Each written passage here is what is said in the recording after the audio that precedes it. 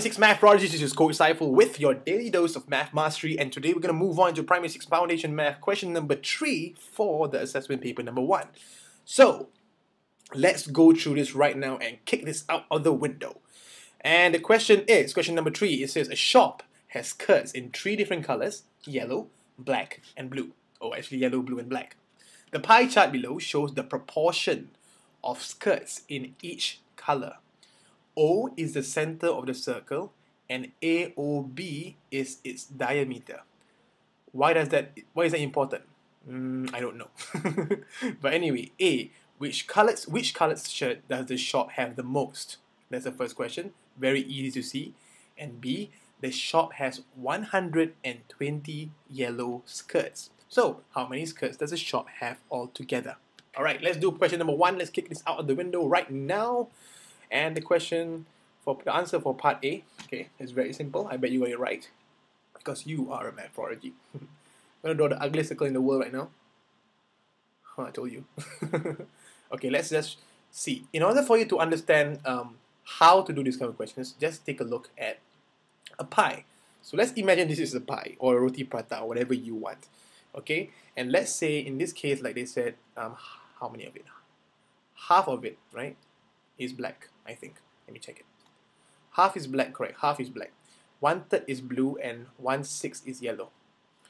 So let's draw this properly. One third and one sixth is yellow. Okay. So in this case, all you have to see to, to, to know which um, one is actually the most is just see which has the biggest portion or in other words which has the color uh, if you were to shade these colors uh, these parts which one would have the biggest shaded part so in this case this is half, right?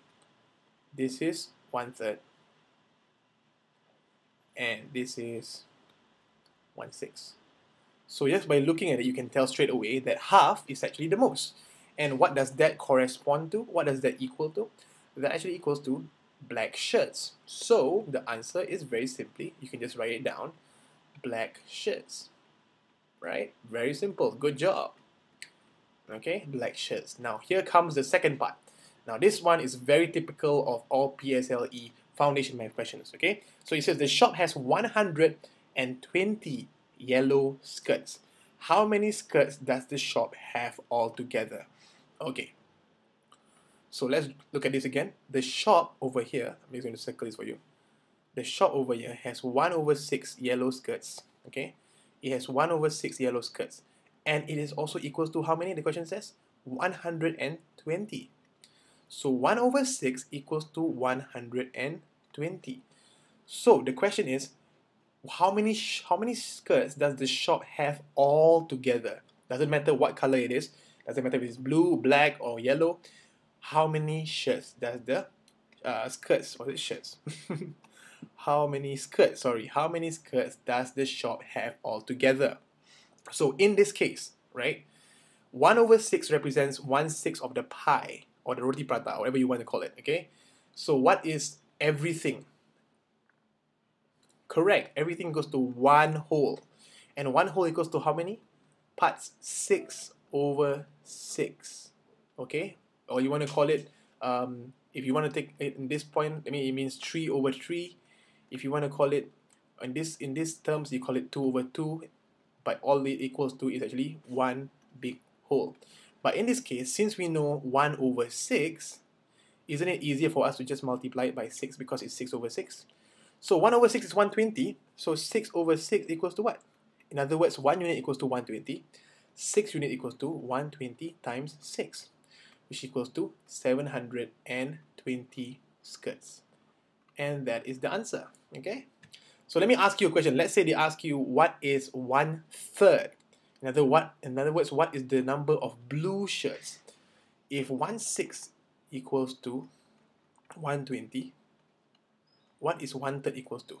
Ah, now you have to make the bottom what? The same in fractions. So 1 third is also equals to what? Okay, this is a little brain teaser for you, okay? So 3 times what gives you 6? The answer is 2 and you must be for you must be fair to the person on top so you multiply it by 2 as well 1 times 2 gives you 2 3 times 2 gives you 6 therefore in other words they're asking you if 1 6 is equals to 120. What is 2 6? So in this case, all you have to do is multiply this by 2 and you will get 240. Okay? Very simple stuff. Okay, with that, remember, all we have to do to conquer these kind of questions is to practice. Yes, the more I practice, the easier it gets. With that, this is Coach Saiful signing off with you are a math prodigy. Good job.